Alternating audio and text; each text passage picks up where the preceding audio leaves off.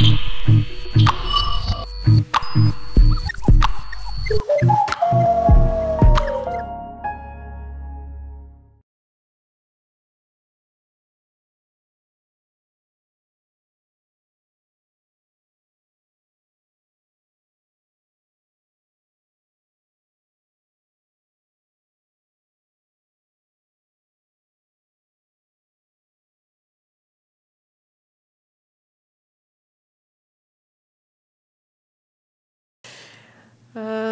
Voilà, donc je vais vous présenter, euh, bien sûr, de manière un peu trop synthétique, mais c'est toujours pareil, c'est normal.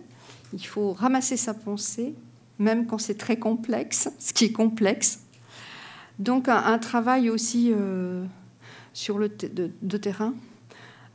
donc sur numérique et innovation contrainte par une mise en contention le cas d'une PME girondine. Donc, je m'appelle Annick Schott, je suis maître de conférence, dirais, à l'université de Bordeaux-Montagne au MICA, l'axe ICIN, et je suis aussi secrétaire générale de l'Institut Psychanalyse et Management. Donc, ça sera un peu du management, un peu de la psychanalyse aussi.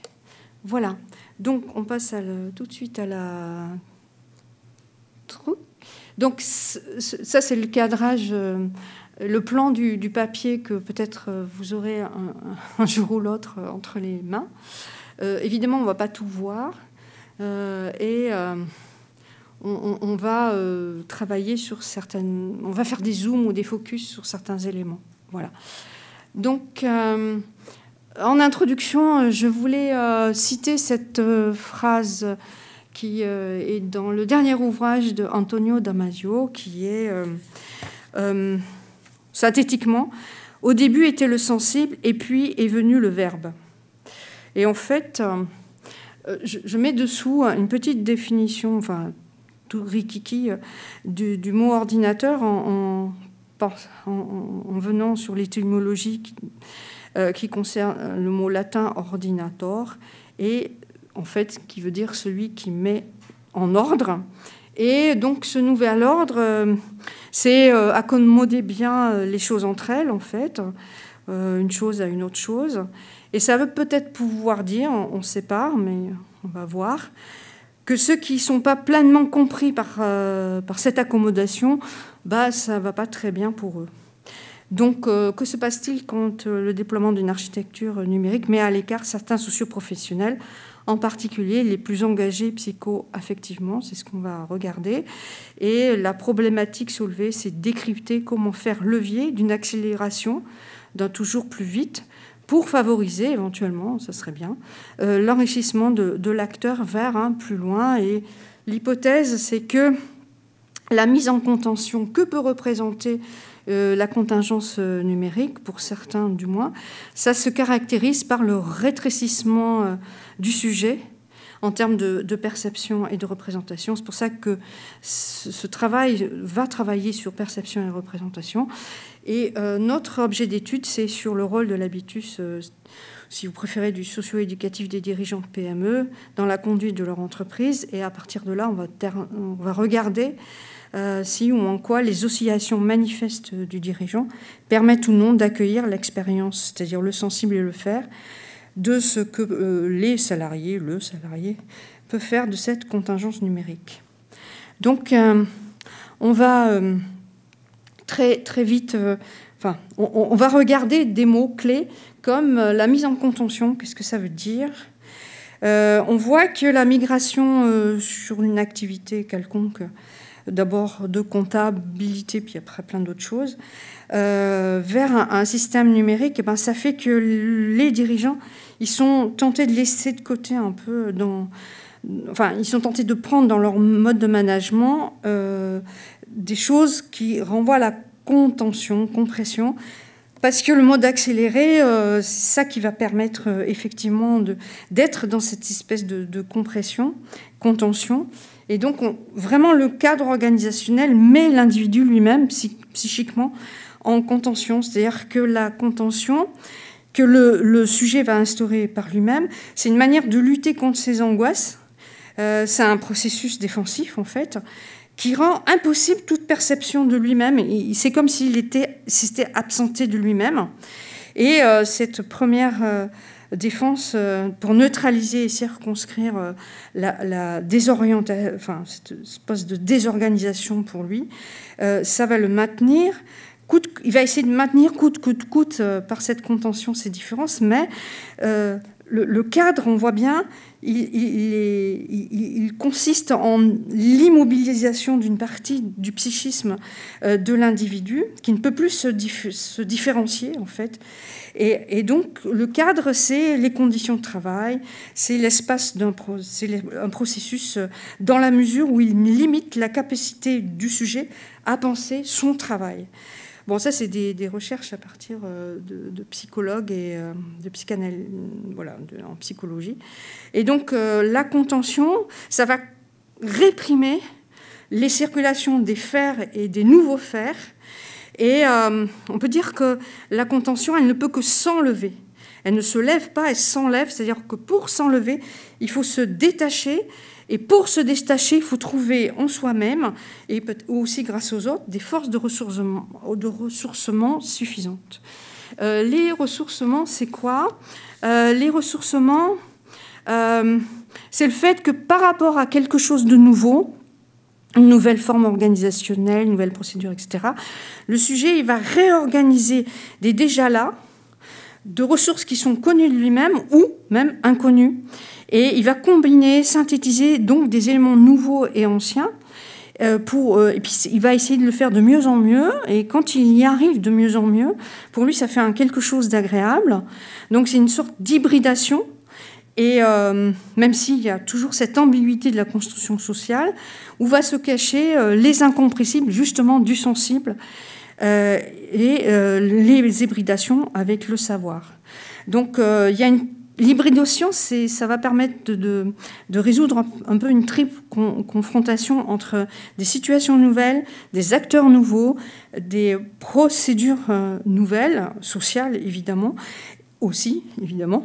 Et euh, ça, s'ancre bien sûr dans nos connexions sensibles à partir de quelque chose ou de quelqu'un, et le ressourcement s'incrémente.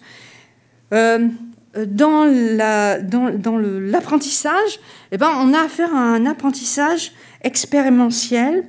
C'est-à-dire que l'apprentissage qui se raccorde mieux à, ces ressourcements, c'est l'apprentissage expérimentiel qui se fait en continu, qui est holistique, qui euh, mêle raison et, affect, qui euh, part aussi euh, du passé et de l'expérience, qui s'adapte à de nouvelles contingences qui procède par essai-erreur et euh, qui euh, voit que finalement, euh, dans sa perception-représentation d'un désagréable qui va être modifié en agréable, c'est bien l'acte qui est modifié.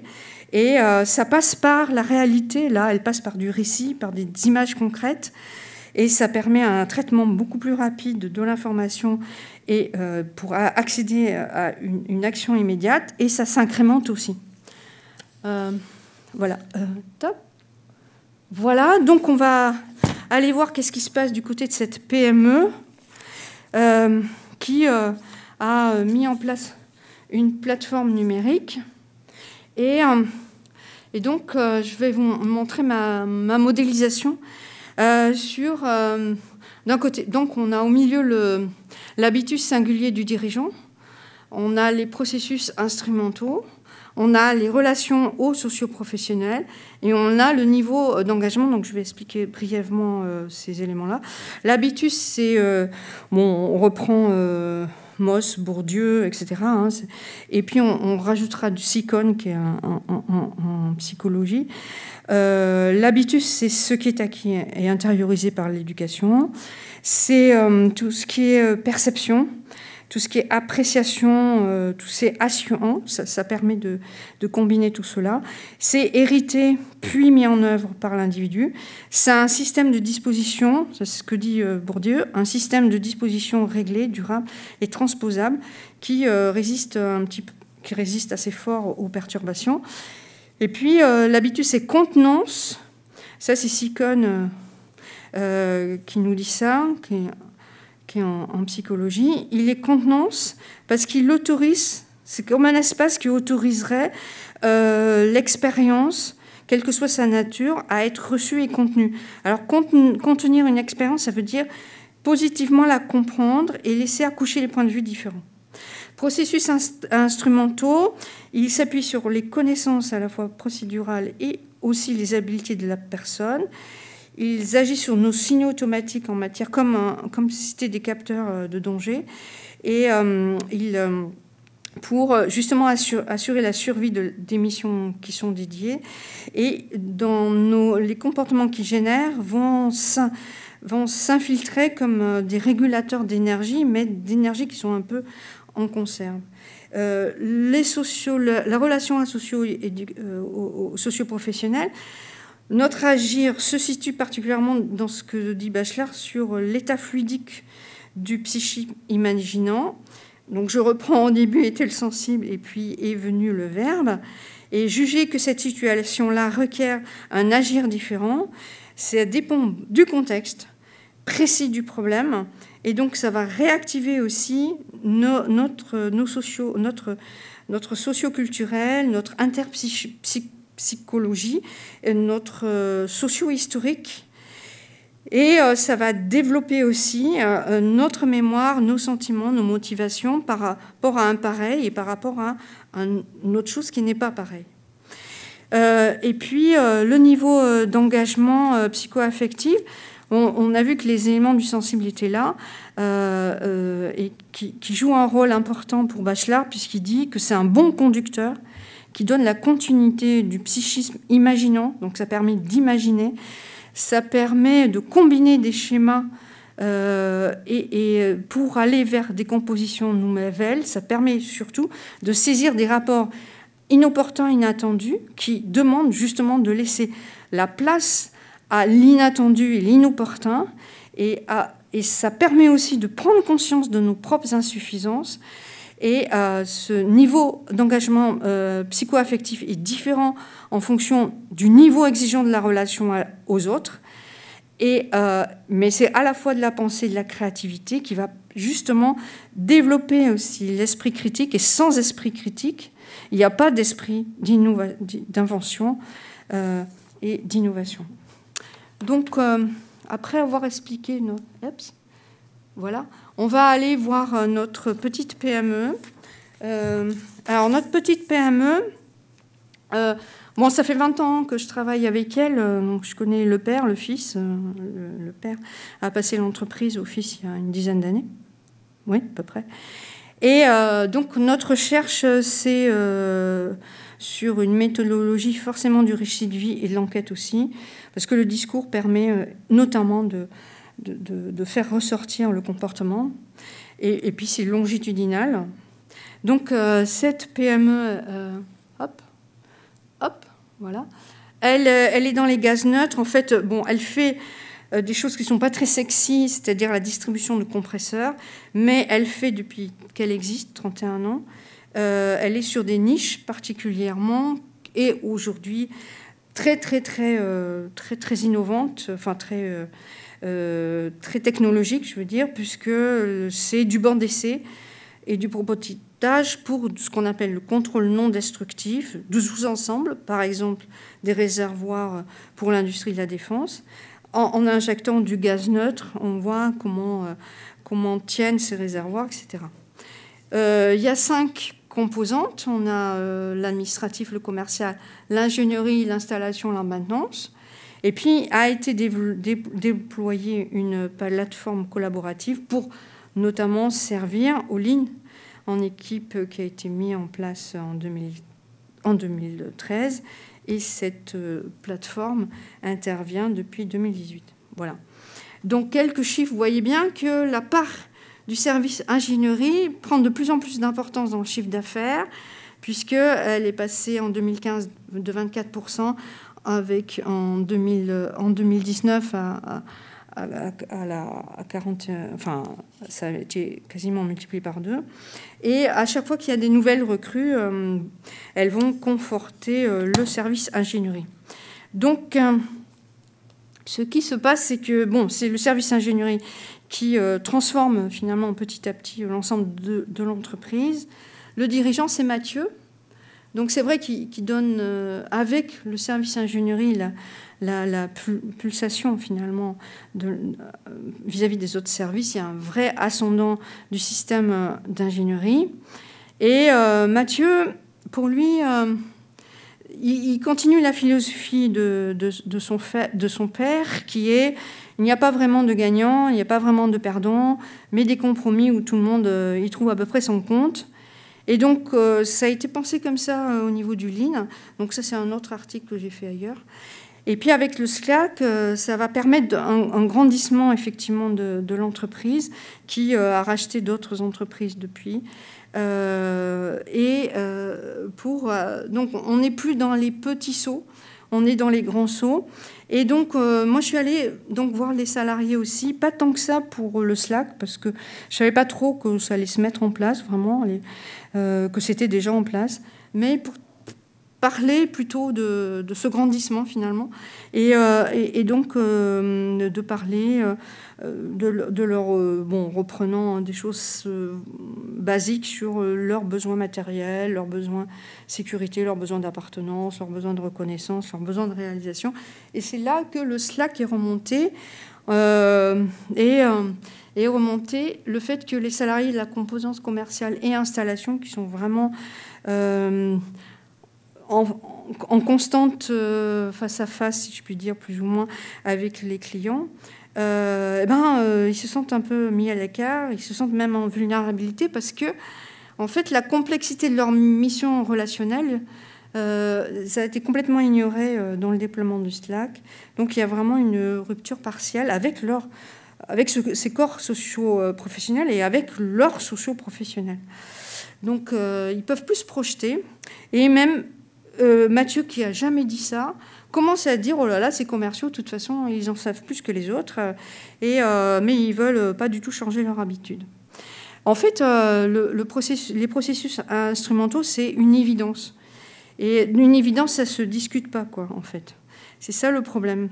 Euh, euh, et, à force de ne pas en discuter, on, prend une, partie des équipages comme des objets inanimés qui doivent de toute façon faire. Et en procédurant les pratiques, on procédure aussi la pensée. Ça, c'est un Lier euh, est, qui, est, psychologue et psychanalyste qui a écrit un, chapitre d'ouvrage là-dessus. Et dans les relations socio-professionnelles, eh ben, elles deviennent flottantes parce que on est face à un impossible euh, on est face à un obstacle euh, puisqu'on ne peut pas dépasser l'évidence. Donc, euh, donc il va falloir renier son, son, métier un peu. Si, voilà. Et donc ça devient flottant. Et dans son engagement psycho-affectif, c'est pareil, c'est un peu délié parce que le sensible et l'affect, qui est conducteur de, cette pensée et de cette créativité dans la relation à l'autre, eh ben, elle ne peut plus se recharger d'esprit critique et d'esprit d'innovation. Donc, euh, c'est un peu perturbant. Et donc, euh, euh, on, oublie, on oublie des choses importantes qui sont le fait que si on, nie les forces potentielles, en fait, de la combinaison entre les routines, effectivement, et l'écoute créative, on, fait que ces personnes-là ben, sont dans un étouffement.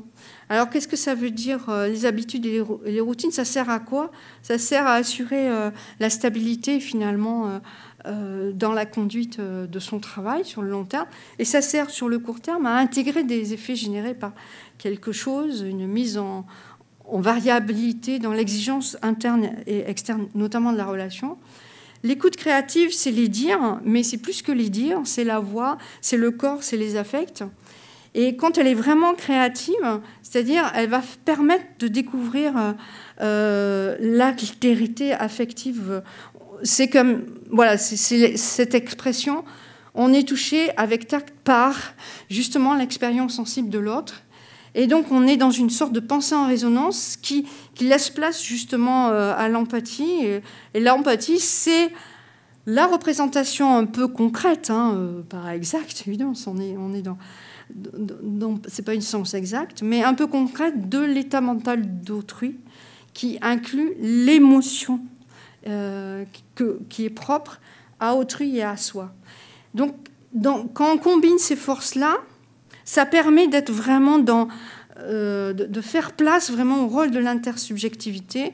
René Caes, qui, est très connu en psychanalyse, parce que mondialement connu, René Caes, il est euh, spécialiste de la psychanalyse des, institutions et des, groupes et des institutions.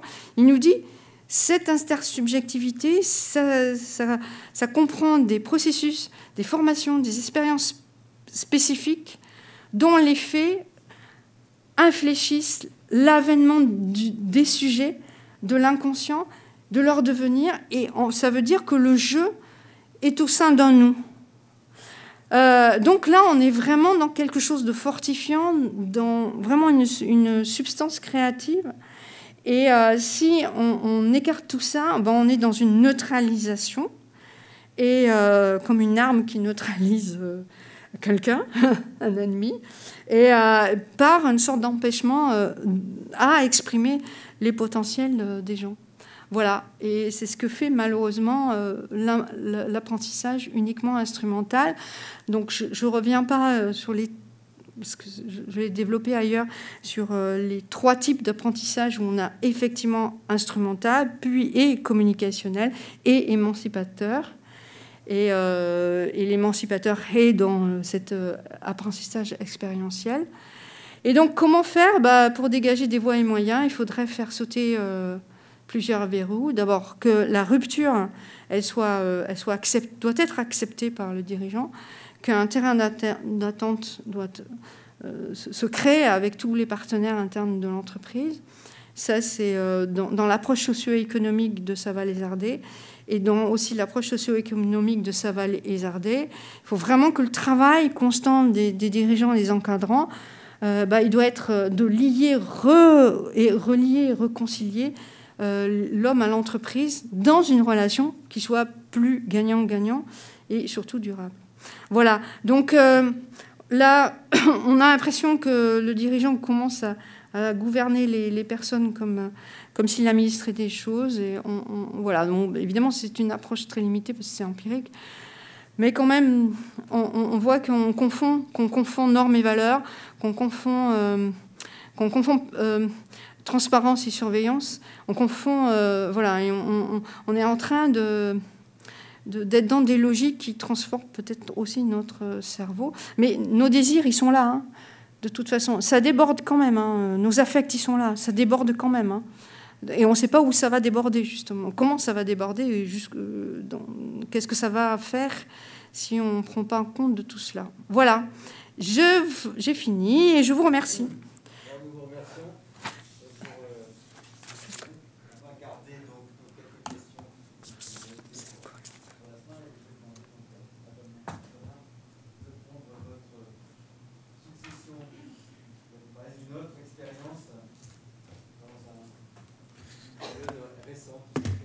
C'est ça, c'est ça, c'est ça.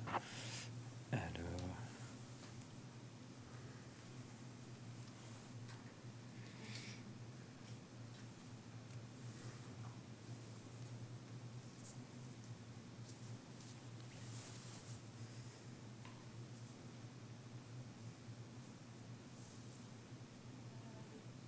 Il faut, que j'appuie là Ah oui, non, c'est bon.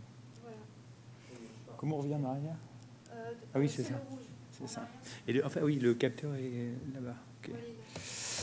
Donc, bah, bonjour à tous. Euh, Damien Renard. Donc, moi, je suis professeur à l'université euh, en communication euh, en infocom à l'université catholique de Louvain en Belgique. Et en fait, voilà, ici, j'aimerais vous parler d'un sujet que j'aime beaucoup, qui est la question de la plateformisation. Euh, plateformisation, donc la question des plateformes numériques. Et donc, qui dit plateforme dit automatiquement, euh, enfin, pas automatiquement, mais généralement intelligence artificielle. Et je voudrais aborder la question de la collaboration, qui est quand même un des enjeux fondamentaux au sein de ces plateformes. Euh, donc voilà, donc j'ai fait un petit exposé. Euh, donc en fait, l'idée, hein, euh, par rapport à, l'appel, l'idée hein, de cette réflexion, en fait, elle est née d'une observation, le fait qu'aujourd'hui, bah, le mouvement de plateformisation, hein, il n'est pas nouveau. Je veux dire que, mais moi, ce qui en fait, ce qui m'intéresse aujourd'hui, c'est de voir comment finalement, bah, euh, finalement, bah, ces plateformes sont utilisées par des collectifs euh, pour pour créer, pour pour en fait, voilà, le rôle des plateformes dans l'émergence de collectifs. Et je me suis intéressé plus plus particulièrement aux collectifs autour de la question de l'innovation sociale, puisque c'est quand même le, thème du colloque, hein, c'est quand même euh, l'IA et l'innovation sociale. Donc l'idée pour moi, c'était d'aller observer euh, un collectif en train de se faire autour de ces problématiques d'innovation sociale. Et euh, je me suis intéressé à un collectif hein, autour la communauté euh, Solidarité Covid-19, donc qui est un collectif euh, porté par l'Organisation internationale de la francophonie, euh, qui a réuni 1500 personnes durant la première vague de, en fait, la, la, la la, la, pandémie. Et moi, mon objectif, ça a été de voir comment en fait ce collectif avait évolué, comment en fait il avait émergé, d'autant plus que l'université de Louvain euh, était partenaire du projet. Donc c'était un projet de recherche en même temps, un, projet euh, appliqué avec l'OIF. Euh, et donc voilà, donc moi c'est vraiment le but de ma présentation ici, c'est d'étudier comment les plateformes peuvent aider le processus d'innovation sociale en m'intéressant vraiment à une question pour moi qui est fondamentale, c'est la question de la collaboration. Hein. la collaboration, concept un peu nébuleux, hein, concept très très très très très très très flou, puisqu'entre la question de la coopération, de la coopétition, la question de la collaboration, l'idée, la collaboration dans le sens où je l'entends ici, c'est vraiment l'idée de travailler ensemble en dépassant des logiques individuelles, euh, mais la collaboration, c'est, ça reste un concept très très large parce que ça va du, simple partage d'informations à la mise en ressources à la, mise en commun de ressources en vue d'un résultat euh, euh, commun. Donc c'est en fait assez large, mais c'est une problématique centrale, cette, cette en fait, question. Et la question, elle est assez simple que je me suis euh, posée, c'est finalement quel est le rôle de l'intelligence artificielle. Et quand moi je parle d'intelligence artificielle, je m'intéresse surtout aux objets sociotechniques qui vont relever de l'intelligence artificielle, comment les systèmes communicationnels intelligents peuvent aider en fait, euh, peuvent favoriser l'expérience collaborative, comment on peut faire collaborer, euh, collaborer des gens euh, ensemble dans des contextes où finalement les plateformes, comme une des caractéristiques des plateformes, si on revient à la, définition d'une plateforme, c'est vraiment l'idée de, de, de, faire, de coordonner l'activité de groupes d'acteurs qui vont devoir travailler ensemble, qui vont devoir collaborer ensemble, et des acteurs qui sont hétérogènes. Et tout l'enjeu des plateformes en tant qu'infrastructure, c'est ce travail de coordination. Et c'est là où les IA, évidemment, ont un rôle qui n'est pas neutre, parce que ce sont des systèmes qui vont essayer justement d'analyser euh, l'environnement pour aider justement à dépasser à, euh, euh, dépasser bah, justement le fait que les, individus, que les acteurs, les individus sont hétérogènes et n'ont pas forcément d'objectif euh, commun au départ. Et donc c'est vraiment ça, sur ça que je me suis interrogé. Et donc moi, ce mouvement de plateformisation, je, l'ai plutôt vraiment centré sur, sur, les, sur, la question des innovations des collectifs autour de l'innovation sociale. Parce que l'innovation sociale, c'est enfin moi je, voilà, je trouve ça assez passionnant. C'est quoi l'innovation sociale? Donc c'est vraiment le moyen d'offrir de nouvelles solutions euh, et, euh, qui vont être capables de résoudre les problèmes et les besoins sociaux ou encore de favoriser le bien-être des individus. Donc c'est vraiment ça le cœur même de l'innovation sociale, euh, à la différence de l'innovation. Encore, encore un concept très très large. Hein. Il n'y a pas un consensus sur la notion d'innovation sociale, puisque certains la voient plutôt comme un processus, d'autres comme un résultat, d'autres comme un produit. Néanmoins, il y a quand même une convergence sur des caractéristiques de l'innovation sociale. Et l'une des premières caractéristiques, c'est que les innovations sociales se, en fait développent dans un contexte donné. Et là, vous voyez déjà émerger un premier problème, c'est comment vous faites travailler des gens ensemble, collaborer des gens autour de projets ancrés dans des problématiques local dans des contextes donnés. Comment les gens peuvent se parler si, si, si, si, euh, si finalement les projets renvoient à une réalité du terrain. Et ça, c'est une, des, grandes difficultés de la collaboration. Et donc, le, le, le deuxième niveau, c'est le périmètre très localisé hein, des innovations sociales qui sont géographiquement limitées, qui émergent sur des marchés. Hein. Et, euh, euh, aujourd'hui, un des grands défis dans le domaine de l'innovation sociale, c'est comment, par exemple, une innovation sociale qui émerge euh, dans le nord de l'Europe hein, peut, par exemple, se diffuser en France. C'est vraiment un problème. Et enfin, l'hétérogénéité des domaines, parce que l'innovation sociale, ça va de, des problématiques de santé à aux questions environnementales. Euh, et donc, bah, la plateformisation, dans ce mouvement hein, euh, autour, de, cette question des innovations sociales, bah, la plateformisation, c'est quand même une, question intéressante parce que pendant longtemps, par exemple, l'innovation sociale, un des acteurs pivots justement de l'innovation sociale, hein, c'était euh, l'entrepreneur social vision très schumpeterienne, justement, avec l'entrepreneur social. Hein, vous avez, il y a énormément de, travaux qui va apporter, qui va générer des innovations sociales. Pourtant, ce que dit Harrison, c'est qu'en fait, à, côté de l'entrepreneur social, de l'individu qui va apporter un projet avec un intérêt euh, social fort, qui, qui va, à travers son projet, essayer d'améliorer le bien-être des populations, va émerger, et existe une, autre figure de l'innovation sociale qui est, la figure des collectivités ou des collectifs. Euh, et les collectifs, évidemment, euh, grâce aujourd'hui aux plateformes technologiques, évidemment, ils, ont un support technologique pour pouvoir échanger, pour pouvoir se coordonner, pour pouvoir s'exprimer ensemble. Et c'est euh, avec quand même comme deux problématiques, euh, avec quand même comme question majeure comment je me coordonne, euh, comment je coordonne des acteurs hétérogènes euh, comment je coordonne des innovations qui sont ancrées dans des contextes locaux. Donc ça, c'est vraiment une des grandes questions et c'est un des grands défis euh, posés par euh, la plateformisation des innovations sociales. Alors, l'intelligence artificielle liée à la plateformisation, donc pour revenir au cœur aussi du sujet hein, de la conférence, clairement, l'intelligence artificielle, moi, c'est une notion qui m'a toujours. Euh, j'ai toujours été, pour être honnête, très très réticent avec la notion d'intelligence artificielle, euh, que j'ai accueilli avec beaucoup de méfiance. Pourquoi? Parce que je m'intéresse aux questions du, numérique depuis euh, très très longtemps. Et en fait, tous les deux ans, quand on travaille sur le numérique, on a toujours une nouvelle notion qui émerge. Donc, il y a eu l'intelligence artificielle. Deux ans avant, c'était les algorithmes. Deux ans avant, c'était le big data. Deux ans avant, c'était les réseaux sociaux. Deux ans avant, c'était la transformation. Et voilà. Donc, en fait, il y a toujours cette logique. et, et et c'est vrai que euh, du coup, ce colloque a été aussi pour moi l'occasion vraiment de, de, mieux comprendre les enjeux. Et l'intelligence artificielle, donc, est vraiment une discipline scientifique qui n'est pas nouvelle. Hein. l'intelligence artificielle, comme le montre très très bien tout le travail de Cardon et Hall dans la revue euh, réseau, c'est une thématique qui revient régulièrement euh, au cœur de l'actualité, avec deux branches. Hein, la branche symbolique, où on est sur une intelligence artificielle qui part basée sur l'idée de formalisation et d'application d'un raisonnement en fonction de règles logiques explicites. Donc on aurait finalement des règles euh, explicitées à partir de là l'intelligence artificielle. Donc ça, ça a été une, dans l'histoire de l'intelligence artificielle, hein, euh, ça, a été une, des branches qui a vraiment dominé, euh, qui, a, qui a dominé beaucoup les travaux. À côté de ça, il y a la branche connexionniste et qui en fait regroupe l'ensemble des techniques d'apprentissage euh, à partir des données. On va retrouver le machine learning, le deep learning, etc.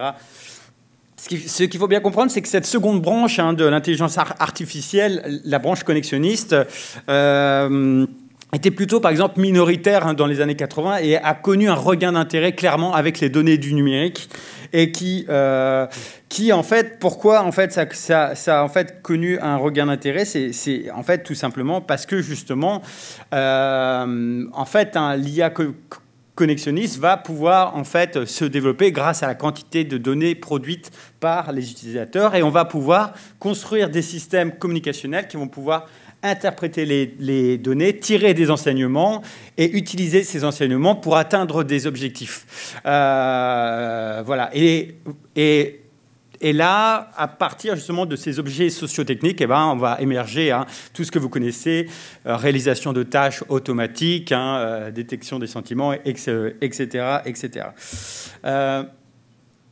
Et donc voilà, moi je me suis intéressé à, en fait ce collectif Solidarité Covid-19 Francophonie porté par l'Organisation internationale de la francophonie qui est une institution internationale qui regroupe euh, tous les pays francophones et qui vise à promouvoir la, francophonie euh, à travers le monde. Et, la et donc l'OIF a, en fait euh, développé ce collectif avec pour objectif de, de fédérer, de partager, de co-construire des solutions innovantes, créatives pour atténuer les conséquences de la pandémie de la maladie Covid-19. Et donc, euh, donc cette plateforme, ce collectif a été, euh, il a été fait le choix par les concepteurs de l'héberger sur la plateforme Slack. Alors Slack, c'est une messagerie, une, plateforme de communication collaborative qui en fait euh, intègre et euh, qui est très utilisée notamment dans les organisations puisqu'elle elle, intègre un certain nombre d'outils dans, un même espace. Et Slack en fait a connu un succès assez important depuis longtemps parce que c'est une plateforme qui intègre des technologies d'intelligence artificielle dite faible. Alors, l'IA faible, c'est en fait l'IA qu'on connaît en fait en vrai. L'IA faible, ce sont donc des, objets sociotechniques capables de réaliser une, tâche précise. Donc, par exemple, Siri, pour ceux qui ont, des Apple, se base sur l'intelligence faible en fait, parce que finalement, l'intelligence artificielle forte, c'est le, fameux mythe euh, de l'intelligence artificielle forte n'existe, je pense. Euh, et on est, on est dans notre quotidien, on est dans l'intelligence artificielle faible. Euh, et ça, je pense que c'est important de le dire, qui se base sur les données qu'on produit pour réaliser des tâches euh, précises. Et donc voilà. Et donc ce collectif basé sur Slack, avec deux objectifs hein, encourager les échanges et permettre à des porteurs de projets de, de rendre visible leur projet euh, grâce au, au site OIF. Je ne sais pas combien de temps il reste. En fait, il y a un quatrième intervenant. Ok, je vais accélérer alors. Ok, ça c'est bien de savoir. Donc voilà, là je vous ai juste mis une, copie d'écran euh, un peu de, du, du, du, Slack. Je vais, je vais, venir au point intéressant. Donc moi, en termes de méthode, j'ai fait le choix des méthodes mixtes. Méthode mixte basée sur une, une enquête ethnographique pendant 60 jours plus complété par une analyse quantitative sur les données de profil et les données de réseau. Donc, parce que évidemment, en tant que partenaire du projet, on avait accès à toutes les données comportementales. Euh, voilà. Euh, et donc, c'est vrai que pour ça, les méthodes mixtes sont intéressantes. Alors, qu'est-ce que donnent les résultats? En fait, ce qui est intéressant, c'est quand on, quand on observe la plateforme, le premier résultat qu'on constate, c'est qu'en effet, il y a une forte hétérogénéité entre les membres sur la plateforme. Hétérogénéité à quel niveau?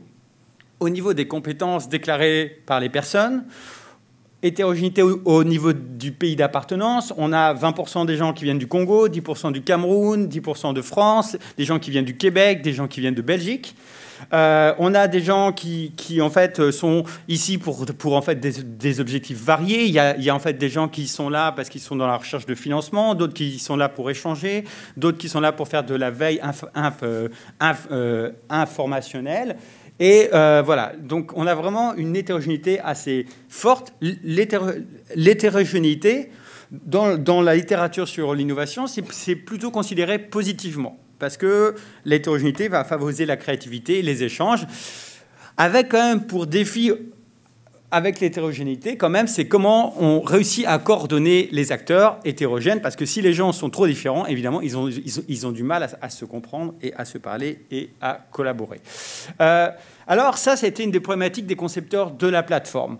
Alors, comment on fait pour faire collaborer des gens hétérogènes? Un des premiers enjeux, quand on observe comment se structure la plateforme, déjà, c'est la réalisation d'un la présence d'un objectif commun. Et ça, c'est quand même, la pandémie, on peut voir le côté négatif, on peut aussi voir, penser le côté positif. Ici, le côté positif, c'est que clairement, en fait, de cette pandémie émerge un objectif commun partagé par tous, la lutte contre les effets de la pandémie euh, Covid-19. Et ça fait frontière, en fait. Ça fait, ça, fait frontière entre les membres. C'est un objet frontière qui va faire sens pour les membres. Le deuxième niveau pour favoriser comment la plateforme se construit, c'est la division en sous-canaux thématiques sur Slack, avec justement permettre aux gens qui partagent des intérêts, des intérêts communs comme le tourisme, les médias, de justement, en fait, échanger. Et donc, ce qui est intéressant, c'est qu'on voit qu'ici, le dispositif sociotechnique va favoriser la création d'arènes, va, va favoriser la la création d'univers de discours, va favoriser l'établissement de frontières ou basé sur, cette, sur le sentiment de faire ensemble. Euh, et donc voilà, donc, je vous ai mis des, des, en fait, un extrait euh, de verbatim. Alors, le rôle de l'IA dans, dans en fait, ce processus, comment l'IA intervient finalement. En fait, l'IA ici, on est dans de l'intelligence artificielle dite faible, hein, donc elle va, plutôt intervenir sur, en fait des tâches plutôt, euh, euh, plutôt mineures, mais elle va jouer un rôle important en termes d'animation de la communauté, du collectif. Et pour moi, finalement, en fait, quand j'observe le collectif, il y a une animation faite par les community managers, donc animation humaine et animation non humaine. Et, euh, et donc, en fait, ça en fait, se traduit à deux niveaux. D'abord, à un niveau cognitif par des systèmes de recommandations personnalisées qui vont en fait essayer justement, une des problématiques de Slack, c'est les flux de messages qui, qui en fait émergent, euh, qui sont produits en permanence sur la plateforme. Et là où l'intelligence artificielle est intéressante, c'est qu'elle va essayer justement de, de, de, de filtrer l'information pertinente pour les utilisateurs en se basant sur, sur les logiques, sur les principes de similarité ou de complémentarité entre, entre, entre les personnes. Donc en fait, l'intelligence artificielle ici favorise la rencontre entre des, des gens qui expriment des intérêts communs. Voilà, euh, consciemment ou inconsciemment. Et le deuxième type d'IA, ce sont évidemment les, les, en fait, agents conversationnels. Ici, sur Slack, c'est le Slackbot, qui lui, est, euh, évidemment, est d'abord euh, une ressource cognitive qui peut mettre à, en fait, à disposition certaines réponses automatiques quand on lui pose des questions.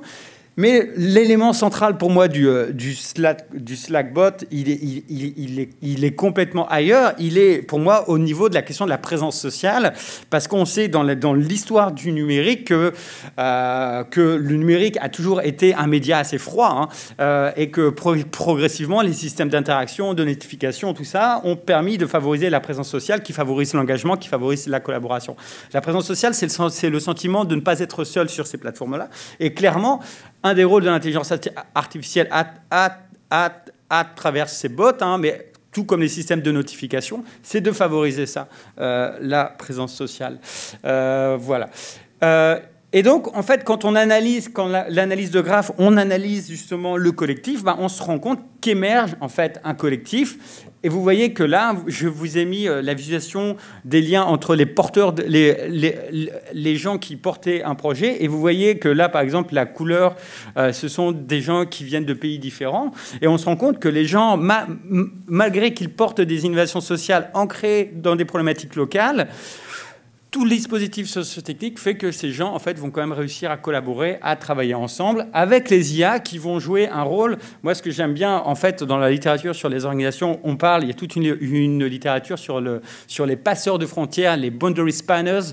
Et pour moi, clairement, ce sont des, ce sont des passeurs de frontières par excellence, au même titre que les community managers, en fait.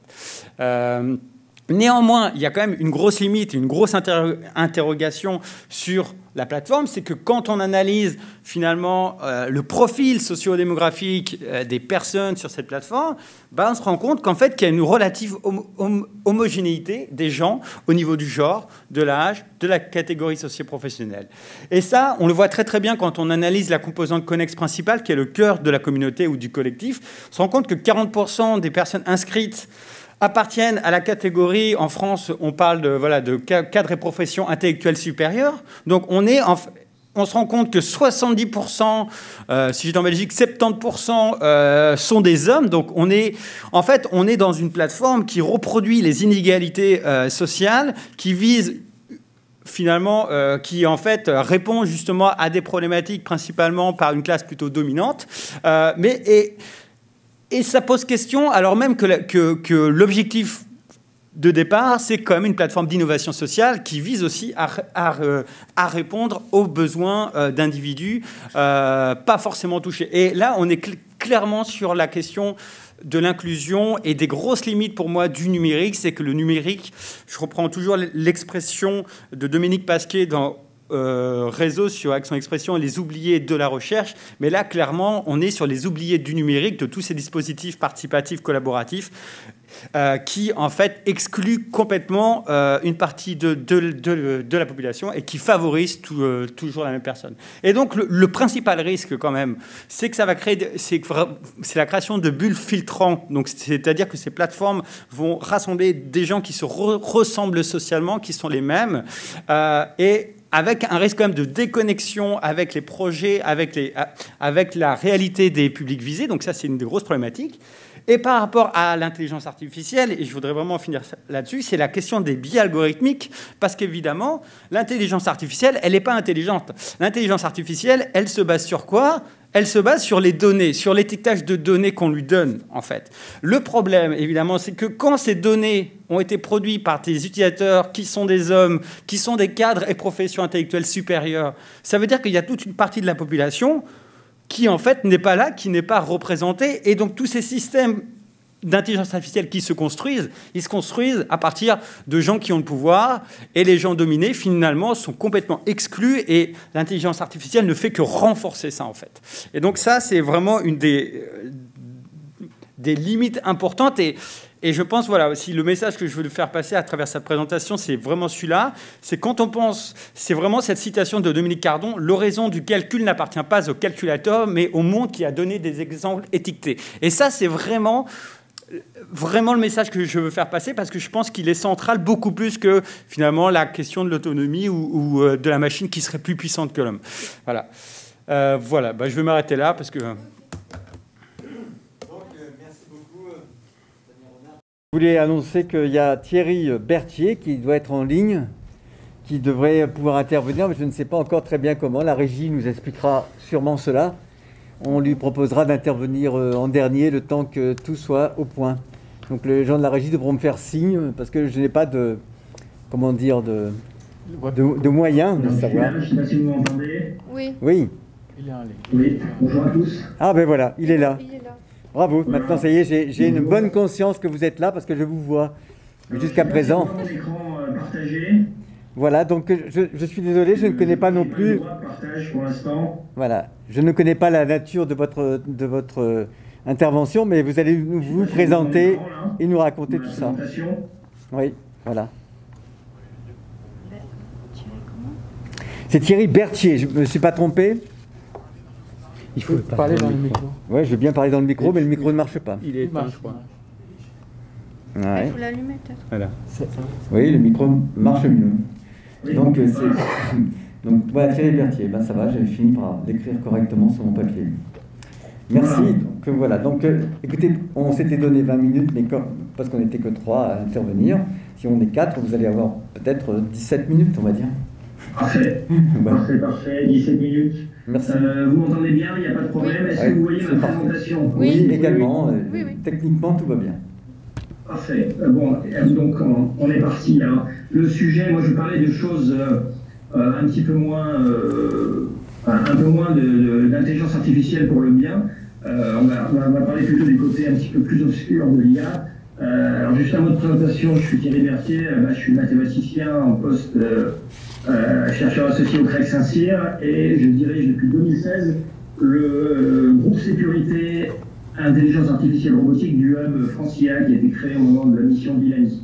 Voilà, consortium assez large en France et qui euh, réunit à la fois des industriels, des chercheurs, des laboratoires euh, et des institutionnels sur dans différents domaines de l'intelligence artificielle, que ce soit la santé, euh, la mobilité, la, culture, les médias et aussi choses plus, plus vers, vers, les questions de sécurité et défense en particulier le groupe sécurité-défense robotique. Donc là, l'idée de l'intervention, c'est d'expliquer un petit peu le, changement de paradigme opéré par l'IA euh, dans, les, dans les armées, les armées du monde, hein, et par la robotique aujourd'hui, avec euh, des, des bouleversements extrêmement importants qui sont, qui sont importants à la fois pour les, pour les forces, mais aussi pour l'ensemble de l'équilibre géopolitique. Alors en fait, l'intelligence artificielle et la robotique, parce qu'on va, on va en parler conjointement, euh, quand on parle de robotique, en fait, c'est un, terme fourre-tout où on a à la fois des, systèmes physiques, de la, mécanique, des matériaux, de l'électronique, de l'optique, et un, ensemble d'une trentaine de, sous-disciplines. Et donc, quand on parle de robotique, on parle implicitement de ces 30 euh, sous-disciplines. Euh, et alors, cette robotique, qui existe depuis fort longtemps, hein, elle a fait comme, euh, comme l'intelligence artificielle depuis les années 1960, elle a fait différents bons en avant. Et aujourd'hui, euh, l'empilement de l'intelligence artificielle, du machine learning, de l'apprentissage statistique et des techniques de robotique fait que on obtient aujourd'hui des, effecteurs et des, euh, des, systèmes qui sont techniquement efficaces et performants au combat et dans toutes les phases qui sont préparatoires au combat. Alors, on, s'achemine vraiment très fortement vers une guerre des machines et des systèmes. Hein, euh, on n'est pas à la limite de la science-fiction, on est dans le réel, hein, dans ce qui va être. Alors, euh,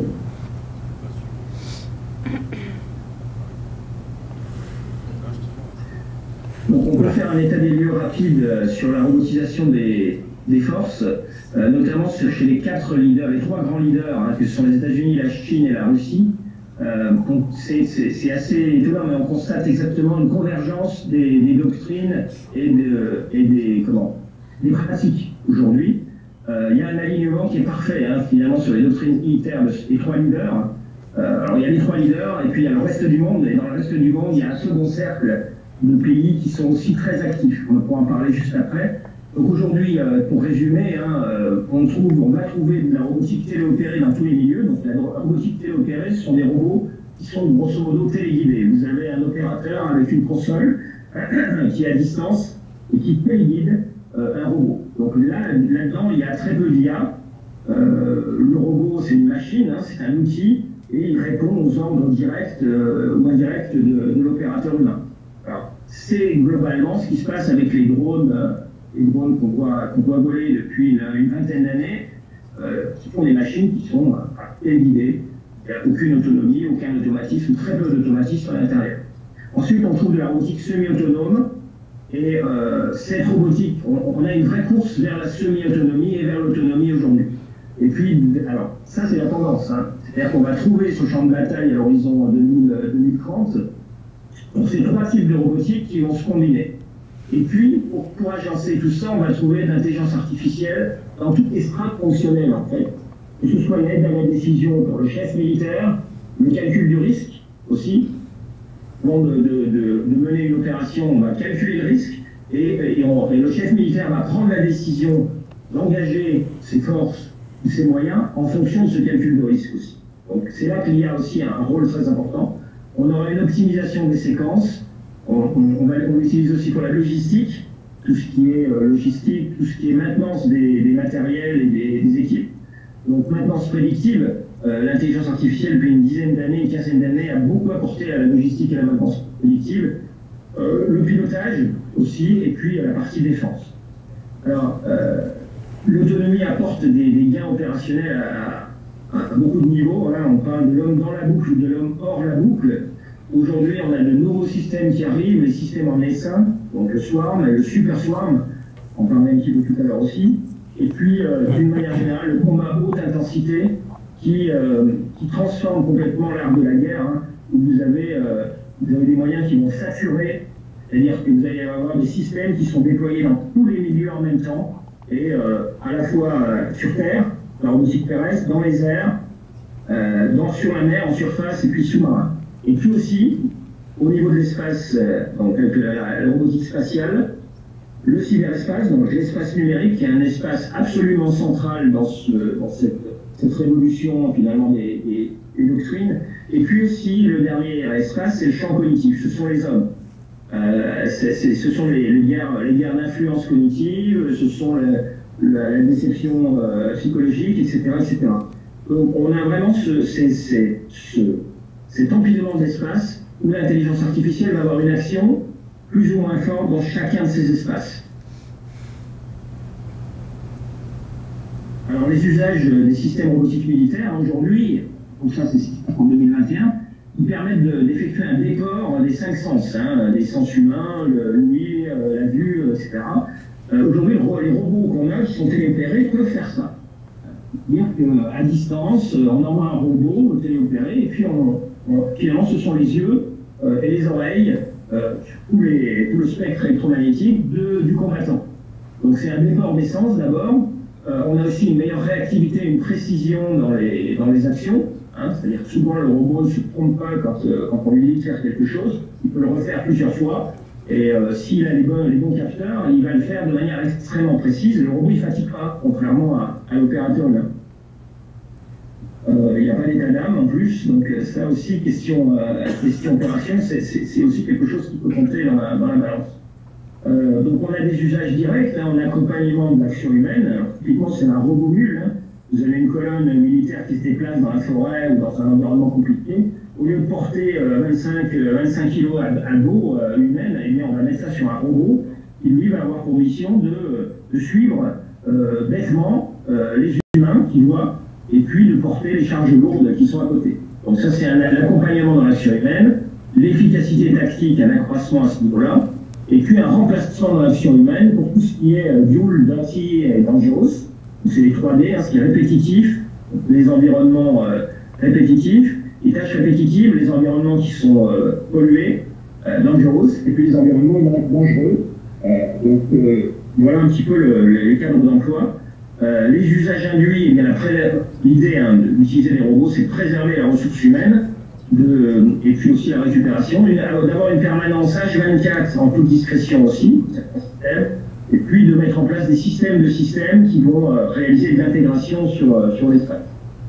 quand on parle d'autonomie, aujourd'hui il y a beaucoup de polémiques, hein, euh, il y a pas mal d'associations qui ont demandé l'interdiction des, des roboteurs, on entend souvent le mot de roboteur ou robot terminator, dans les faits on en est très très loin.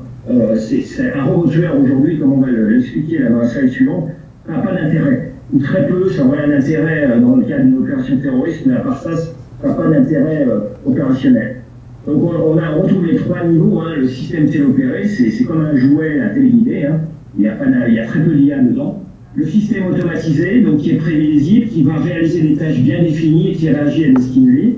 Et puis tout ce qui est robotique autonome ou semi-autonome.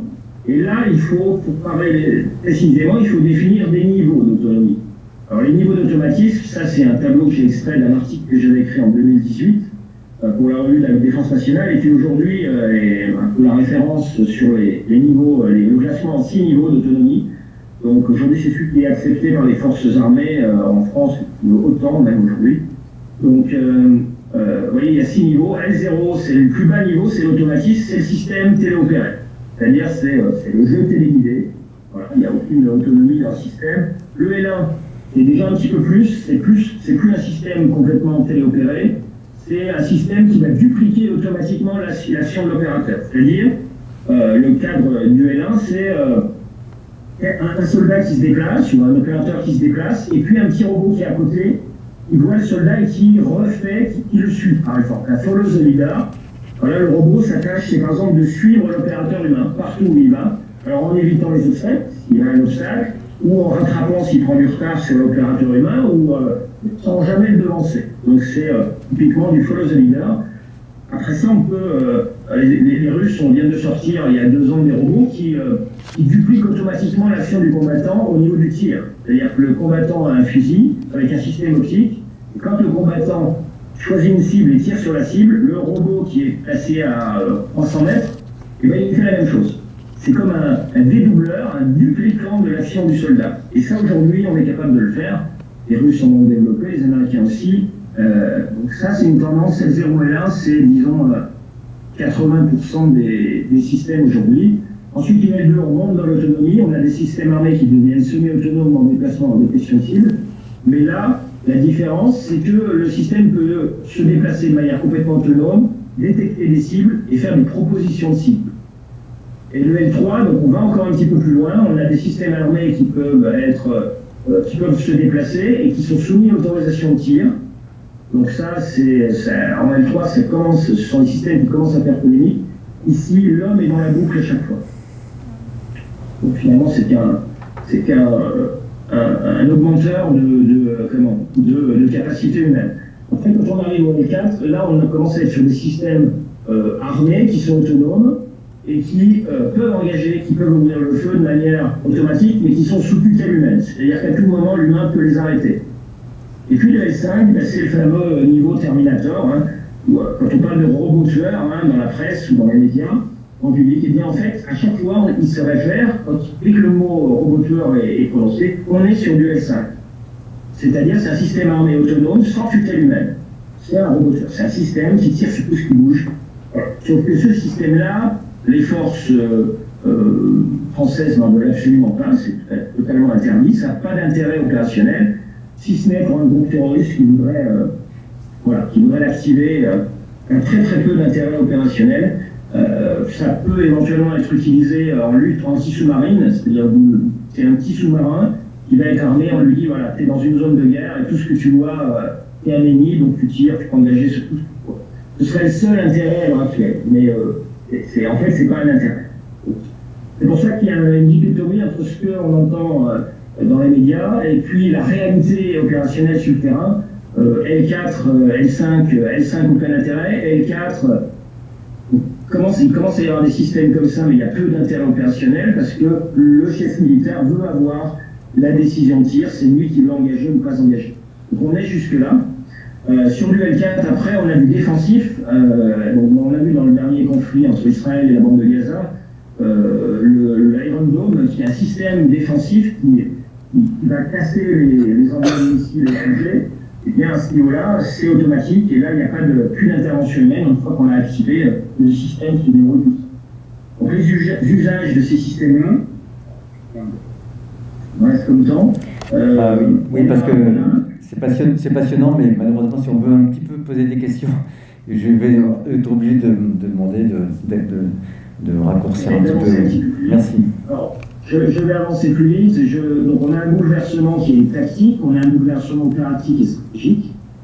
On a l'intelligence artificielle, en fait, elle vient euh, bouleverser une boucle d'action qui est très vieille hein, dans l'histoire des armées, qui date presque de, de Clausewitz quasiment, euh, qui est la boucle ODA, hein, qui, dit observer, orienter, décider, agir. L'IA intervient dans chacun de ces, euh, de, ces, états.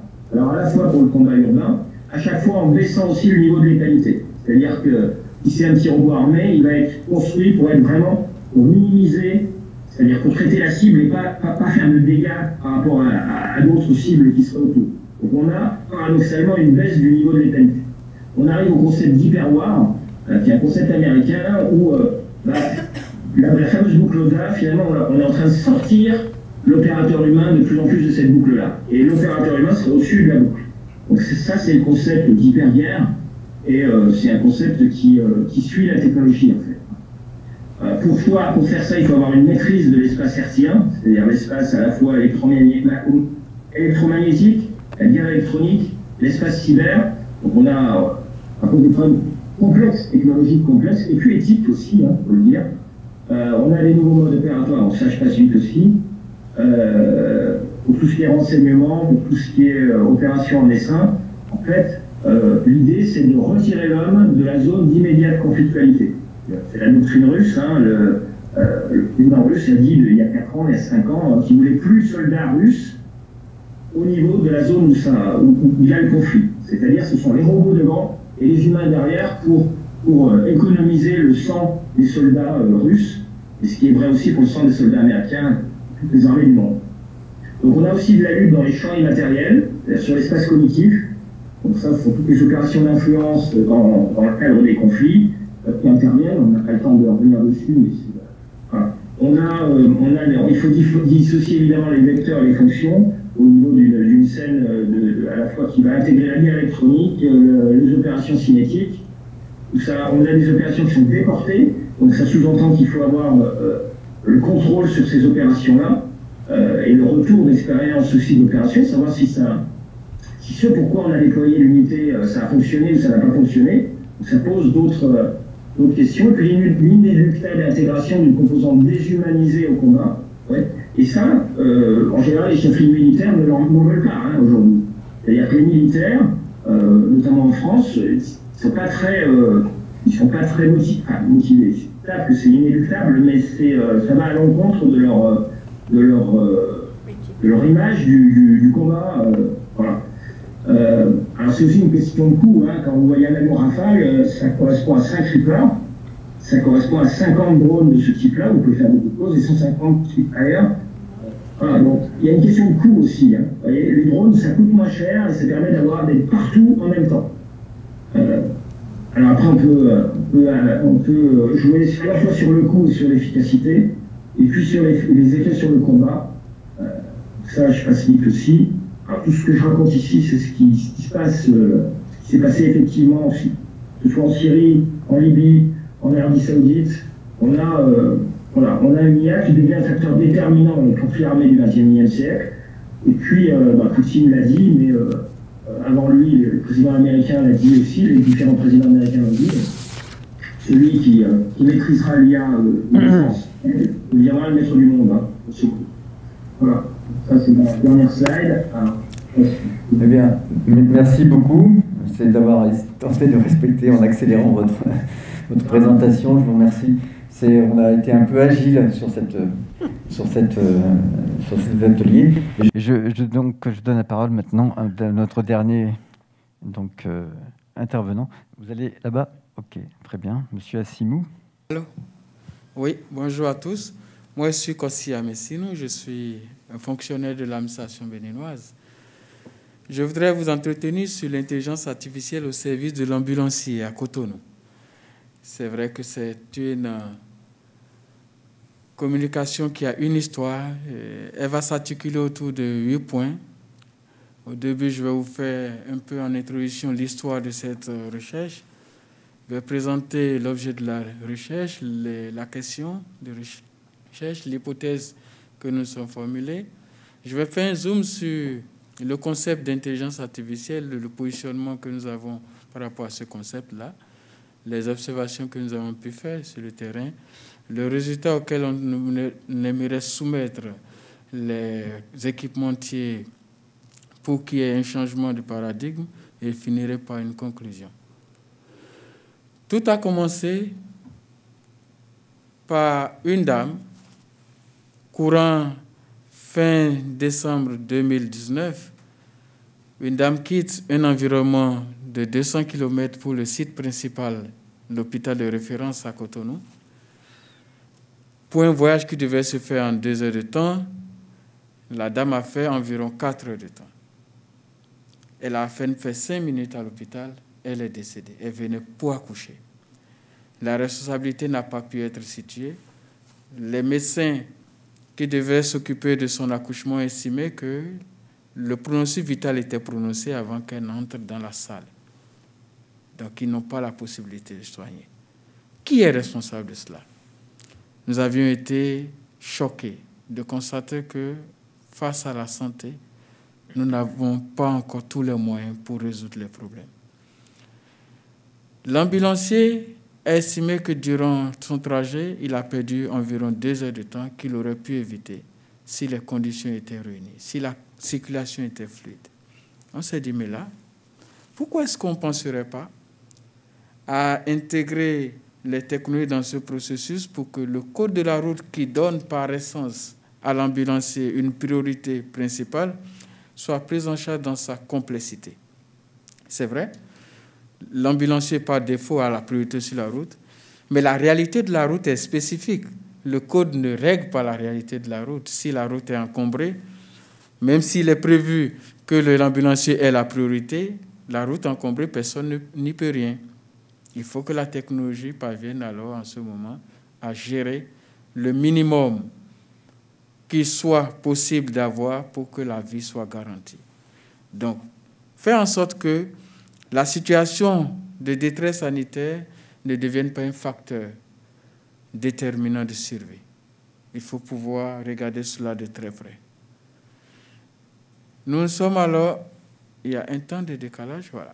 Nous sommes, nous sommes proposer d'apprécier les changements qualitatifs que l'émergence d'une nouvelle initiative d'intelligence artificielle pourrait induire dans la préservation de la vie des patients qui sont transportés par les ambulanciers.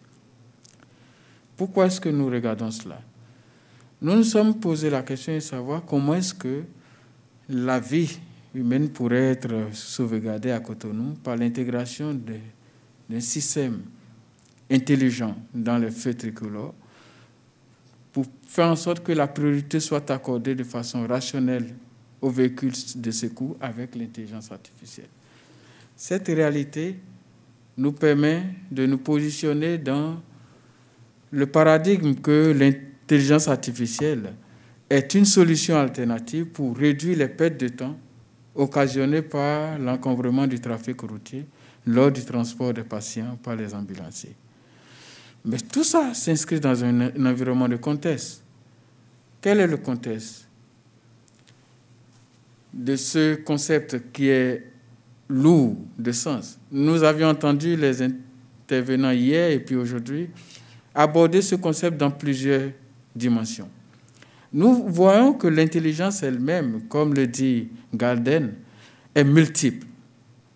Si elle est multiple, elle devrait pouvoir nous servir à sauvegarder des vies. On doit pouvoir travailler à cela. Le professeur Ganassia nous invite à l'observer de façon précise en intégrant toute la fonction cognitive dans sa pluridisciplinarité. Mais pour nous, pour qu'on puisse agir efficacement sur les faits tricolores, il vaut mieux aller regarder de près les travaux de Shannon sur l'électronique numérique pour que l'intelligence artificielle soit perçue dans sa pluralité au service de ce besoin précis qui est le nôtre. Pour nous, l'intelligence artificielle, il se présente comme un procédé algorithmique visant à prêter à une machine, à partir de chaînes de code informatique, des capacités comparables à celles de l'homme en termes de prise de décision. Quel a été l'environnement? C'est un environnement que nous avions pris le temps d'observer. À partir de ce premier cas, nous sommes dit qu'il faut l'observer au mieux. Nous avons mis à contribution nos étudiants en licence de télécommunications et informatique courant octobre et décembre 2020 pour regarder quelle est la situation des ambulanciers dans la circulation routière à Cotonou. Nous nous sommes rendus compte que pour plusieurs fois, les ambulanciers se sont retrouvés dans une situation d'arrêt total. À défaut, ils sont ralentis au point de perdre du temps conséquent. Ce temps-là, malheureusement, quand nous avions été au service d'urgence de l'hôpital de référence, on nous a fait remarquer que plusieurs décès étaient régulièrement enregistrés et que les causes profondes peuvent être imputables au délai assez long commis entre l'annonce de l'ambulancier dès son point de départ et son arrivée au point de destination. Mais nous savons que la technologie sur les capteurs a suffisamment évolué aujourd'hui dans le monde. Pourquoi nous ne l'utilisons pas dans nos environnements à nous? Peut-être que les capteurs n'ont pas tout le potentiel qu'il faut pour résoudre ce problème. Mais on peut recommander qu'il y ait des capteurs spécifiques pour faire ce genre de travail. Aujourd'hui, les capteurs sont capables de détecter de la lumière, par exemple, pour permettre un environnement où on n'a pas, pas de gens pour aider le non-voyant pour traverser une route, le capteur aide à gérer la circulation routière pour que le non-voyant puisse traverser la route en toute sérénité, en toute sécurité. Les mêmes capteurs de type infrarouge associés à des caméras sont utilisés pour permettre aussi de détecter l'éminence de la présence des animaux et réguler la circulation routière pour les permettre de passer en toute liberté. Nous avons tous été confrontés à la réalité de l'intelligence de voirie avec la théorie de, de, de véhicule to everything qui nous amène à avoir une société où nous avons zéro encombrement, zéro accident, mais dans la pratique, ce n'est pas vrai. Nous n'avons pas encore zéro accident. Même si nous l'avons peut-être dans le mouvement des hommes, dans la circulation dans certaines villes du monde, dans nos espaces à nous, dans les pays en développement, le chemin est encore très long. Très, très long. Comment est-ce que nous pouvons faire pour que un capteur spécifique soit déployé pour pouvoir observer deux éléments à la fois? Le son de la sirène, de l'ambulance, le jeu de lumière qu'émet l'ambulance, les observer simultanément et prendre la décision de réguler la circulation routière au profit de l'ambulancier. C'est ça l'enjeu. Mais les capteurs qui existent aujourd'hui ont des potentiels qui tiennent sur des centaines de mètres. On a besoin de capteurs plus puissants qui peuvent avoir de la détection à hauteur de 1 km pour que cette fonctionnalité soit effectivement utile et qu'elle permette de manipuler tout le processus de la circulation routière jusqu'à la destination de l'ambulancier. C'est ça l'objectif pour lequel nous avions entamé cette recherche. Nous, nous, avons continué à travailler sur ce dossier et nous voulons espérer qu'en faisant usage de l'intelligence de voirie, nous aurions effectivement un espace de circulation non encombré et que de nombreuses vies humaines pourraient être sauvées autrement de la commande à distance de la manipulation à distance des faits tricolores dans nos vies. Merci, Monsieur le Président. Merci beaucoup. Alors, on, était démarré avec une grande marge de manœuvre, mais on termine avec une petite marge de manœuvre. c'est un, grand classique. Euh, est-ce que c'est possible de savoir s'il y a des questions en ligne? Parce que nous ne sommes pas nombreux dans la salle, mais il y a peut-être des questions en ligne, puisque j'avais vu tout à l'heure qu'il y avait des personnes qui suivaient les exposés. Est-ce que la régie peut nous mettre quelque chose sur le sujet? Ne serait-ce que pour les lister pour l'instant. Non, il n'y a pas de questions en ligne. Alors, dans la salle, je, en fait, je vois pas bien la salle, mais je vois une, main quand même.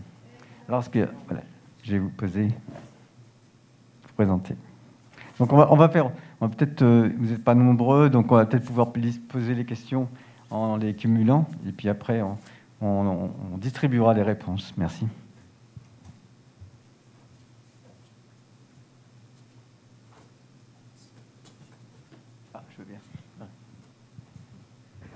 Merci beaucoup. Je trouve euh, tous les, euh, tous les interventions sont très intéressantes euh, et particulièrement, ça m'a impressionné le, sujet sur l'application de DA sur la guerre et militaire. Ça m'étonne. je voudrais savoir plus, à votre avis. Euh, quels, sont les, plus grands risques euh, si euh, la guerre sera équipée par l'EA si vous pensez, si vous considérez, considérez l'IA n'est pas appliquée par tous les pays, c'est peut-être juste quelques pays. Donc, en futur, euh, euh, qu'est-ce que ça, qu'est-ce que, veut dire pour l'avenir la, de la paix, euh, de la guerre? Comment on peut vraiment gouverner l'application d'IA sur militaire dans un cadre international pour, pour protéger la paix en futur? Merci. Je vais essayer de reformuler votre question. Donc en fait, c'est l'asymétrie donc euh, des moyens du premier cercle, là où on a la, Chine, la Russie, les États-Unis, qui ont des moyens de, de peut-être euh, mettre en place des, doctrines qui sont basées sur l'intelligence artificielle. Qu'est-ce que ça pose comme problème au niveau de la régulation mondiale pour ne pas éviter euh, une espèce de super pouvoir de ces trois sur le reste et comment ça se passe pour le reste. Donc c'était une question pour euh, M. Berthier. Est-ce qu'il y a d'autres questions? Et parmi vous, donc. Est-ce qu'il y a une question que vous avez envie de poser les uns aux autres entre nous? Ah oui. Euh, j'étais euh, assez intéressée par ce que disait Damien sur les, biais algorithmiques euh, et sur cette sous-représentation, euh, parce qu'il y a sur-représentation d'autres catégories euh, socioprofessionnelles et dans leur façon de penser, dans leur façon d'être au monde dans leur façon. Voilà, on est tout à fait dans les biais qui sont au-delà du, de l'algorithme, hein, des biais aussi, je pense, euh, cognitifs et émotionnels. Non, mais ça c'est euh, un point. Et donc la, question précise, c'est euh, concernant tous ces biais, on va dire, est-ce que est-ce qu'on peut arriver quand même à, à lever ces biais et comment faire? Sachant que notre institut fait un, colloque en novembre sur les biais, justement. Voilà une annonce en passant euh, avec la question. Donc, euh, donc je reformule si j'ai bien compris. C'est lorsqu'on a des plateformes de ce type-là et qu'il y a des interventions plus ou moins euh, aménagées par de l'IA qui n'est pas extrêmement invasive encore dans ce genre de système, en quoi tous les biais peuvent être gérés, d'abord révélés et puis euh, j'irai dedans. Donc ça, sera pour Damien Renard. Est-ce que vous avez d'autres questions à poser?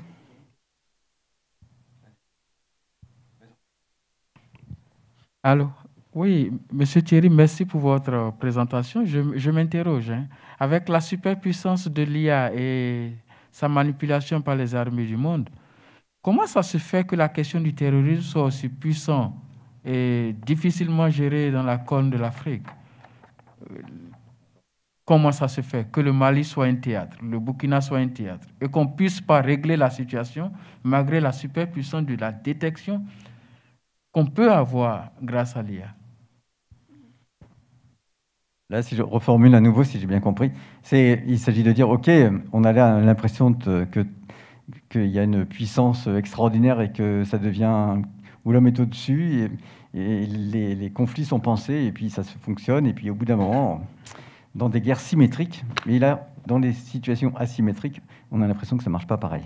Donc, quel est le rôle Ah, il y a des gens qui ont levé la main sur le, sur le réseau Oui, en ligne.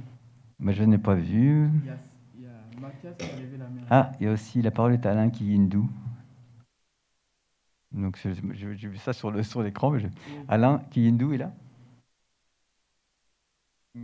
Bon, c'est un peu étrange. Sinon, tu as une question à poser aux autres? Euh, oui, moi, ouais, en fait, moi, c'est peut-être pour Annick, parce qu'en fait, euh, tu as enfin, vous avez terminé votre présentation sur euh, la distinction entre normes et valeurs. Et en fait, j'aurais bien voulu vous entendre comment le numérique change ça, parce qu'en fait, c'est une idée enfin, forte. et j'aimerais bien vous entendre justement, parce que le concept de valeur est très large. Et, puisque, comme vous n'avez pas eu le temps de terminer, je trouve que c'était une idée vraiment qui m'intéresse. Juriste aussi. D'accord, normes et valeurs dans le contexte d'un numérique et d'un dispositif. Ah, voilà, le micro qui revient, qu'on a oublié de nous ramener. Merci, posez-le là. Donc, euh, sauf s'il y a quelqu'un qui veut poser une autre question. Alors, on m'a dit qu'en ligne, il y avait des questions, mais je ne les vois pas, alors je ne sais pas. La régie, euh, vous, avez, vous me dites s'il y avait des questions en ligne? Ah, d'accord, ok, quelqu'un me disait ça. Donc, on va, je, vais, je vais donc poser. Euh, est-ce que vous avez entendu les questions, Monsieur Berthier? Oui, oui, j'ai entendu euh, les, deux questions. Qui, ah, voilà, euh, donc il euh, faut les traiter de manière extrêmement efficace. Oui, je vais faire très vite. La première question, c'est sur, elle est plus globale. Hein. En fait, on est, on est aujourd'hui dans une course à l'IA armement. IA armement, comme on a pu l'être dans les années, à la fin des années 40, début des années 50, dans la, dans la course à l'armement nucléaire. Alors, avec une différence quand même, sur l'armement nucléaire, il y avait beaucoup moins de diffusion, beaucoup moins de dissémination. C'est-à-dire qu'il y avait des, grands, un premier cercle et puis un deuxième. Et puis, euh, voilà, aujourd'hui, 50 euh, ans après, 60 ans après, on est, on est quand même. Euh, il y a, toutes les puissances ne sont pas des puissances nucléaires. sur l'IA, il y a de la dissémination automatique. Pourquoi? Parce que le, la technologie est open source. Beaucoup de technologies à l'état de l'art se trouvent sur étagère. Donc, euh, du coup, on a, on a des pays du deuxième cercle et puis des, des, des, des, pays euh, plus modestes qui peuvent avoir accès au même niveau de technologie euh, que, que, que, les grands pays. Après, c'est une question de moyens aussi. Donc, il y a bien plus de, de, dissémination des technos. Et aujourd'hui, on voit des pays qui n'étaient pas forcément des grosses puissances militaires se lancer dans, ce, dans, dans, dans ce, cette technique-là. Et voilà, on a, exemple la Turquie, euh, Israël, euh, euh, le, Canada, les Corées, Corée du Sud, Corée du Nord, qui deviennent des puissances militaires robotiques. Donc après, sur la question de la réglementation, voilà, alors tous les pays du monde sont à peu près d'accord pour dire que les robots il faut, voilà, il pas d'intérêt et qu'éthiquement, il faut les, interdire. après, on le sait tous, vous avez certains pays qui ne respectent pas forcément les textes qui ne les ratifient pas. Donc c'est une question juridique à la base. Hein. après, quand en Europe, on a des, organisations qui essayent de faire interdire unilatéralement l'IA militaire, personne signera ça, personne. Donc il y a un vrai combat à la fois idéologique et dans cette course, et c'est pas simple. C'est pas simple. Mais on va techniquement vers cette militarisation complète euh, à la fois de l'espace numérique et puis aussi de l'introduction du numérique dans, l'espace de bataille. Ça, c'est, une évidence. Sur la deuxième question, euh, qui est une question qui est plus localisée sur la partie terroriste et sur le, conflit euh, au Mali notamment, ben oui, c'est, ce qui a été dit tout à l'heure, c'est l'asymétrie en fait des moyens et qui sont opérés. les gens qui sont en face des, armées africaines au Mali, les groupes semi-paraterroristes et autres qui sont présents, ils savent que la technologie, c'est à la fois quelque chose qu'ils peuvent utiliser eux de leur côté, mais qui va aussi les faire être identifiés bien plus facilement. Donc, ils vont éviter d'utiliser du téléphone portable, ils vont revenir à des, à des techniques tout à fait euh, sans électronique pour passer sous les radars. Donc, il y a une complexité dans la, dans l'asymétrie du conflit qui, est présente. Et euh, c'est pour ça euh, ne faut jamais sous-estimer l'adversaire. Il ne faut pas non plus surestimer les moyens, les moyens techniques. Aujourd'hui, clairement, euh, on peut faire voler des drones, on peut aller éliminer des cibles ou des choses comme ça de manière plus ou moins automatisée sans prendre de risques, mais euh, on ne traitera pas des problèmes qui sont à la base humains. C'est euh, les, conflits africains au Mali, ouais, on voit le, retrait aujourd'hui, c'est aussi quelque part une, c'est pas un échec parce qu'il y, a du travail qui a été fait, mais ça montre les limitations finalement d'une guerre technologique dans, un conflit local qui, euh, qui, doit se régler certainement autrement. Ce n'est pas la technologie qui va régler ce conflit, ça c'est clair. Voilà. Merci beaucoup sur les réponses. Je ne sais pas si ça a bien répondu à votre question. Très bien, merci. Donc, euh, il y avait donc cette question qui était posée. Donc, euh, voilà, pour. alors, je vais commencer peut-être celle qui a été posée. Il y a quelques deux préoccupations en ligne, s'il vous plaît. Pardon? Question en ligne. Ah, il y a une question en ligne. Ah, c'est nouveau. Alors, euh, elle est où? C'est laquelle? Euh, C'est celles plutôt qui sont pour vous, Monsieur Assimou, sur le comportement des conducteurs. Donc, euh, est-ce qu'on peut agir sur à Cotonou Est-ce que et est-ce que les capteurs électroniques pourront automatiquement éliminer l'excès de vitesse des conducteurs? Donc, ce sont des questions qui sont un petit peu liées à votre exposé pour dire est-ce qu'il y a là une capacité technique à résoudre un problème qui peut être aussi à résoudre un problème comportemental général dans, une société, en mettant simplement ce genre de choses. Euh, si les gens ne respectent pas le feu rouge, même si ils passent au rouge, euh, qu'est-ce que ça va changer en fait? Moi, je, puisque ces questions se posaient à, distance, je vais vous donner la parole rapidement un petit peu. Oui, Mathias, merci beaucoup pour la question. L'éthique, c'est ça aussi? Le code de la route est bâti avec euh, un processus d'éthique. Le feu, il est rouge, c'est pour qu'on s'arrête. Maintenant, si on ne le fait pas, les conditions sont établies pour qu'il y ait une pénalité, une amende pour ceux qui ne respectent pas le feu comme il se doit. J'ai l'impression que la question, c'est un peu de dire comment est-ce que le mauvais conducteur peut-il se rendre compte des conséquences de son acte, par exemple vis-à-vis euh, d'un délai pour aller donc à, à l'hôpital et donc mettre en cause euh, mettre en danger de mort des gens, alors que lui, euh, il dit simplement, je me, débrouille pour aller un peu plus vite, il n'y a pas eu d'accident, tout va bien. quoi. c'est la, conscience, c'est bien une question éthique, la conscience de mon acte. Donc je sais bien qu'il faut respecter le feu rouge, hein. c'est pas bien, mais en même temps, je me dis, euh, hmm, c'est pas bien, mais c'est pas bien grave non plus. Et comment est-ce que cette conscience-là, individuelle et collective, peut être, pourrait être améliorée par des dispositifs d'IA ou pas oh, Je crois que ce sont des sensibilisations. Là, ce n'est pas la technologie qui règle, là, c'est des sensibilisations, c'est euh, l'éducation à l'usage euh, qu'il faut dynamiser pour que sur tous les plans, aussi bien sur les canaux... Donc il faut un contexte général voilà. prête. ça ne, suffit pas de mettre un capteur, mais probablement que, que la signalisation ait un sens pour, les, pour, le, pour Oui, il y a des capteurs déjà même qui aident à, à, orienter. Donc, si on, sait que la priorité est donnée à un véhicule type, les autres véhicules seront orientés sur un autre trafic. Oui, voilà, il peut y avoir ce genre de choses. C'est techniquement faisable. D'accord. Il y avait une question qui était posée pour. Euh, donc, euh, pour, sur les biais donc, de groupe. Donc, voilà. Donc c'était pour, pour, vous, pour votre système que vous avez observé Alors par rapport au biais, je pense que je vais peut-être monter la question un peu plus parce que la question par rapport au biais sur les plateformes, et enfin de toute façon, je pense que c'est la question euh, par exemple, si on prend la question du euh, shadow banning sur Instagram, parce qu'il y a eu un, communiqué de presse, donc le shadow banning, c'est le principe que fait l'algorithme d'Instagram, et pas seulement l'algorithme, d'ailleurs, hein, c'est aussi euh, l'homme, c'est de rendre invisible des gens sans les prévenir. Donc, c'est-à-dire que les gens postent sur les réseaux sociaux, mais en fait n'ont plus aucune visibilité.